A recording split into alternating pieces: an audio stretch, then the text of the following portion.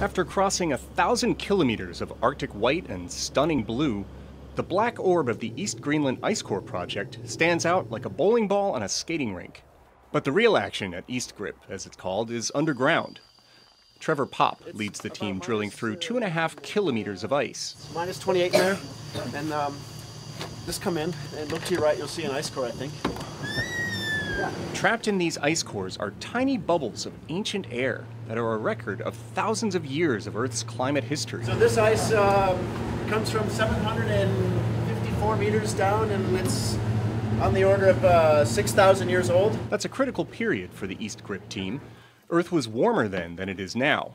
This ice may provide clues about what to expect from today's global warming. But this ice is exceptionally brittle.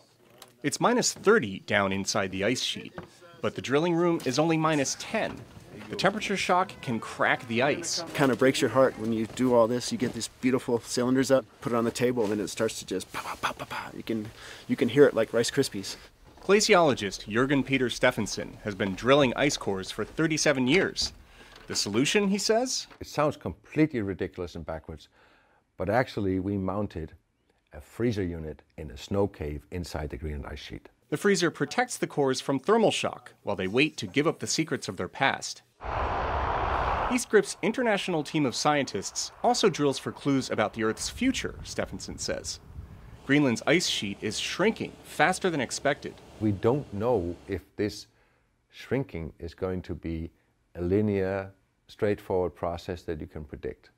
And that's why we're drilling at, uh, at EastGrip. EastGrip sits on a stream of ice that's moving fast for a glacier, but scientists do not know why.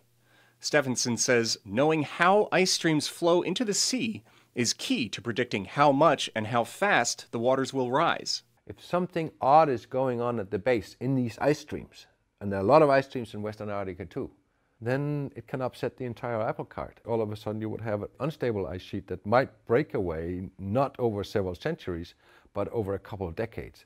And that would be disastrous. The East Grip team won't reach the bottom of the ice sheet for a couple years. That's a few more seasons of work, about as far away from anywhere as you can get. Steve Baragona, VOA News, somewhere over Greenland.